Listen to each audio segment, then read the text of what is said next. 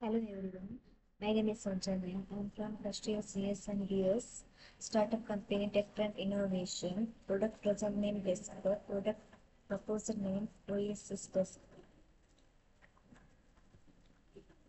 Empathizing, mentioning some of the requirement and feeling about the product as said by the customer during the empathizing activity. First one, height adjustable desk.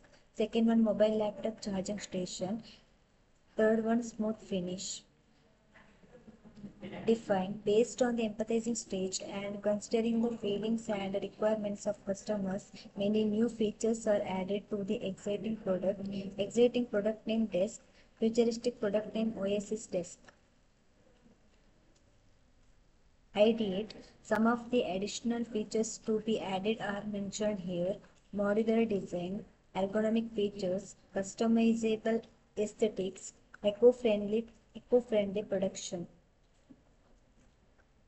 Prototype. In prototype stage the real working model model has to be manufactured due to time constraint. The mentor advised to draw a sketch. The sketch is given below. The height adjustable desk